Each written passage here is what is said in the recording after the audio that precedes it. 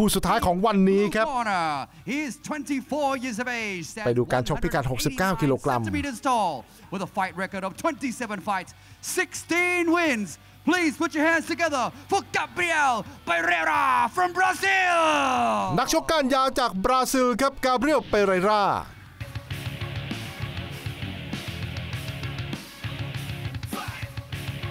ประเภทเด็ดมะละกอไม่ต้องง้อไม้สอยครับ นักชกรายนี้ครับวัย 24 ปีสูง 189เซนติเมตรในทีมงานของภูเก็ตไฟคลับครับ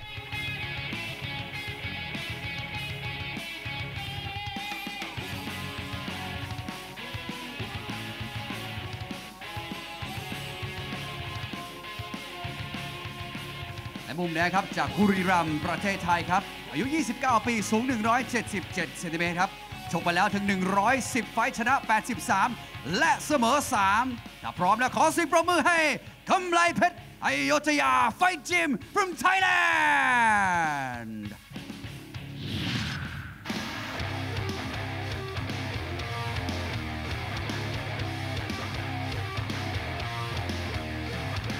ตัวแทนจากจังหวัดบุรีรัมย์ครับกำไรเพชรอโยธยาไฟยิม 29 ปีครับ 177 คู่ต่อกรนั้น24 189 ครับ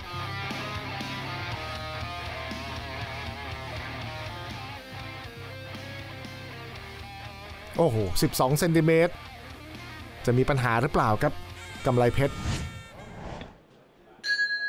อะต้องลงทุนอีกแล้วละครับแบบนี้ พงศักดิ์แม่นละม่อมครับ พี่ตูครับทำหน้าที่ เจ้าบีมนะครับชื่อเล่นของ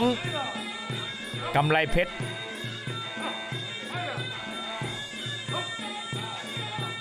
โอ้ต้องแหงนหน้ามองนะครับกำไรเพชรแต่ทีเด็ดของค่ายนี้ก็คือลูกเตะก้านคอนะครับ สูงยังไงก็เตะถึงครับเปเรล่าก็อย่าประมาทอะจะมีช็อตเด็ดให้เห็นหรือเปล่าครับ 177 จะลองจะลองก้านคอ 189 ได้ไม่ได้ครับแม่ไม่ใช่ฝรั่งแบกข้าวสารนะครับ นักสู้ทางช่อง8นี่ของจริงทั้งนั้นนะครับค่ายดังๆค่ายใหญ่ ๆ มาแบบคุณภาพครับ ดูการยืนมวยดูการออกอาวุธก็รู้ครับปักหลักกลางเวทีเตะซ้ายหน้าหลุด ต้องเช็คระยะดีๆนะครับกำไรเพชร โอ้ยสวยครับลูกนี้ ฟันหน้าขาเข้าไปครับอ้อมไปเตะครับเอาซ้ายหน้าเตะครับกำไรเพชรซ้ายหน้าหลุดครับแม่นี่ครับดึงบังโยกนิดเดียวครับมวยไทย ไม่ต้องลุกลี้ลุกลนนะครับสังเกตลูกทีบของเปเรล่าครับพยายามถีบไปที่บริเวณขอบกางเกงครับ ก็ทำเอากำไรเพชรนี่ก็มีอาการพะวงเล็กน้อยครับเพราะถ้าต่ำอีกนิดเดียวมันก็ไปสู่กระจับเลยครับ ขยับไปฮุกซ้ายไม่โดน โอ้โห หันล่างครับ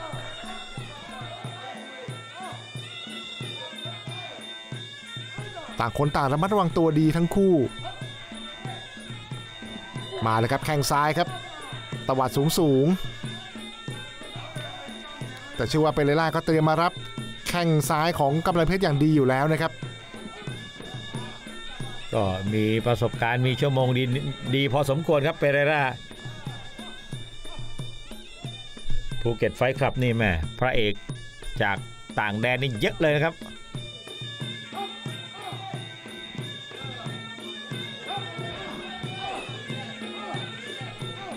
เปเรล่าก็ยังไม่กล้าครับ ก็น่าจะศึกษาเทปการโชคของกำไรเพชรมาอย่างดี รู้แล้วครับจุดแข็งจุดอ่อนอยู่ตรงไหน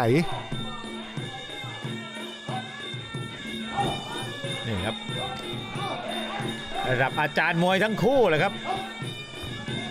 อ่าครับคลาสสิกหน่อยนะครับ ไม่ใช่ประเภทบูล้างผ่านครับ แต่ว่าอย่าเผลอนะครับ หนักหนักๆแรงแรงๆทั้งนั้นครับ ค่อยๆมานะครับไปเรด้าอ่าต้องใช้ความใหญ่ความยาวให้เป็นประโยชน์ครับ ไปเล่นฝีมือนี่แม่กินกำไรเพชรยากครับอ้าวแล้วครับ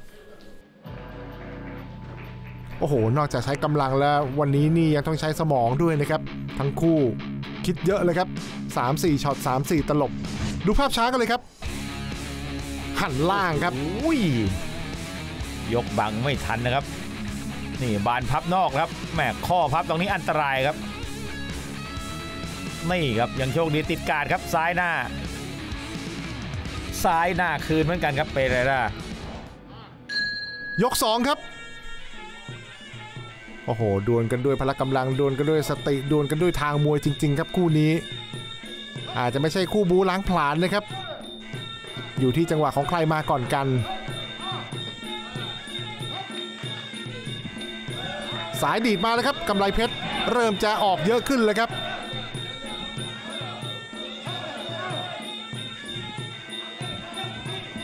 โอ้ต่อยขวาดี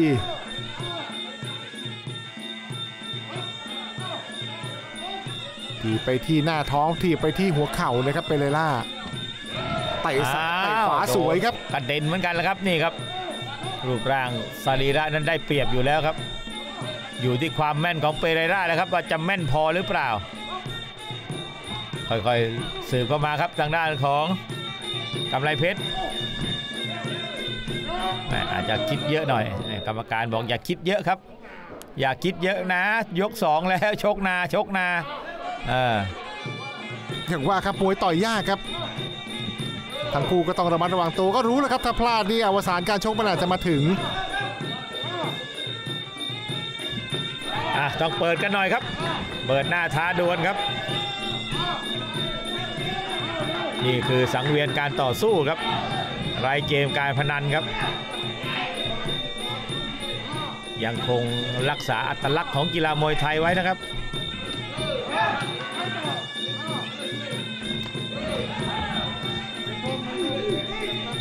พอเสียจังหวะก็เข้ารวบไว้นะครับกำไรเพชร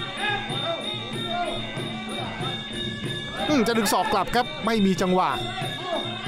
เปเรล่านี่ก็ระวังตัวอยู่แล้วครับ โอ้โห ถ้าอยู่อย่างนี้นี่รอจังหวะกันแบบนี้นี่อาจจะอึดอัดเลยครับ เริ่มบุกเข้าหาเลยครับกำไรเพชร ม่คนเตี้ยคนสั้นก็ต้องคิดเยอะหน่อยครับ ยาวใหญ่และเป็นมวยด้วยนะครับ เข้าไปหลวมๆนี่มีสิทธิ์หงายเก๋งกลับมาครับ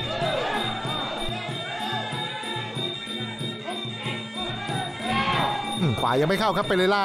ขวาดีมาเรื่อยๆครับกำไลเพชรสับล่าง โอ้โหสับซ้ายสับขวาครับ เพื่อความบาลานซ์เพื่อความสมดุล เริ่มเปิดเกมเลยครับกำไรเพชรครับแหมก็คงบอกว่ายืนรอแบบนี้พี่ขอก่อนละกันจ้วงลำตัวครับนี่ครับอาศัยลูกจากฉวยแล้วนะครับทางด้านของกำไรเพชรจิ้มแล้วรวบจิ้มแล้วขึ้นเอายังไงครับเป๋ๆครับสุดเลยครับ เจอขวาจิ้มเข้าไปตรงเครานั่นแหละครับ นี่เลยครับแหมทำให้ทั้งคู่นี่รีรีรีรอรอเลยครับเพราะว่าพลาดมานี่มันอาจหมายถึงแพ้ครับโอ้โหลูกนี้อิปป้งเลยครับ ทุ่มแบบยูโด หมดยก 2 ครับแหมไปไปโดนทีเด็ดของกำไรเพชรในช่วงปลายยกนะครับ ดูภาพช้าครับ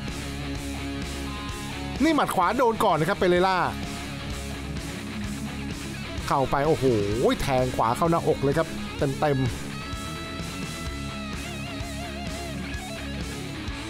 โอ้กล้าต่อยครับลูกนี้ ต่อยท้องเพื่อให้กาดมันรถมันเปิดครับ แล้วก็ทิ่มด้วยขวาอีกทีนึงครับ ยกสุดท้ายครับ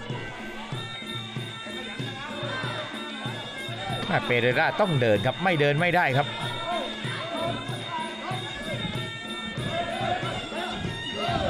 แหม่เกี่ยวไว้ก็ทำอะไรไม่ได้ครับ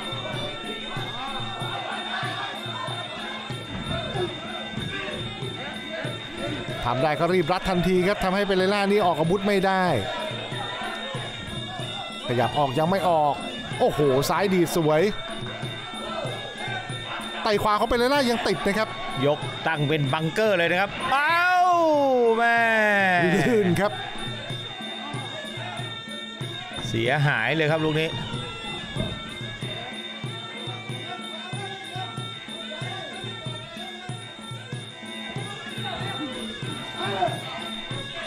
ไม่กล้าลุยครับเปเรล่าต้องลุยแล้วนะครับ อยู่อย่างนี้เข้าร่องแข้งของกำไรเพชรครับดูครับรัดใต้ปีกลูกนี้ก็ไม่มีอะไรครับกำลังเพชรก็รวบไว้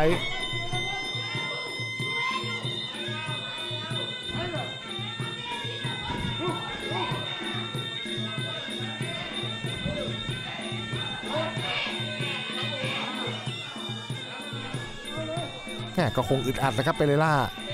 จะยังไงดีรวบไว้ตี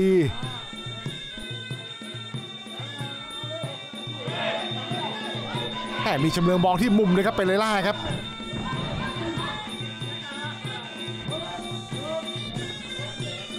ถูไปไถมายังไง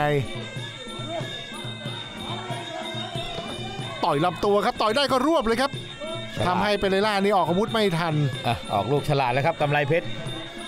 ตีหัวเข้าบ้านตีหัวแล้วรวบครับนี่ครับแม่อึดอัดนะครับ สร้างความอึดอัดให้เปเรล่าแล้วนะครับ นี่ครับ โอ้ยจะไปเดิน แทงเข่าเจอรวบอีกแล้ว ลูกช้าแล้วครับเปเรล่า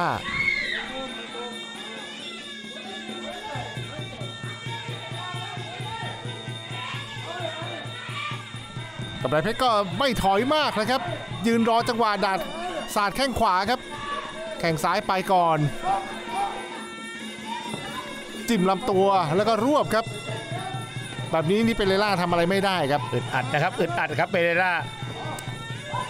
แม่ต้องแทงสวนเลยครับ ต้องแทงสวนครับ ยืนแขนยืนขายาวๆเดินแทงเลยครับแบบนี้ เจอมวยแบบกำไรเพชร คิดไม่ทันแล้วครับ คิดไม่ทันแล้วครับ เจอความเร็วของกำไรเพชรจิ้มแล้วรวบจิ้มแล้วรวบครับ โอ้โหเข้ามาก็เจอแข้งขวาตลอดครับไปได้นี่กำไรเพชรก็รวบทันทีครับอืมอึดอัดก็บอกใครไม่ได้ครับแบบนี้หมดยกสุดท้าย โอ้เดินสายหัวเข้ามุมเลยครับเปเรล่า วันนี้ทำอะไรมันไม่ได้ดังใจเลยลูกนี้ลื่นนะครับ